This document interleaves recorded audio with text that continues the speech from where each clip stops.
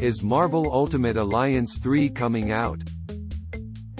Marvel Ultimate Alliance 3, The Black Order release date announced.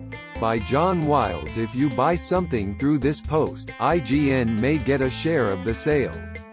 For more, read our terms of use, will release on July 19, 2019, exclusively on the Nintendo Switch.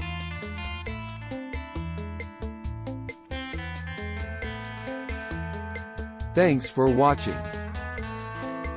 Please subscribe.